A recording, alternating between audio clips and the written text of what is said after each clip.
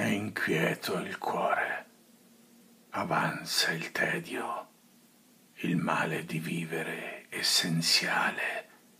Dio ti ascolta, conta la sua finitezza temporale, essenza dell'umor nero, fragile macina agita fantasmi, sterile invidia della possibilità, indulge al fertile manierismo intellettuale, funge la partecipazione collaterale, finge il non senso concettuale, ma anche un piccolo verme nel finale, calpestato, si può sempre rivoltare. Ultima risorsa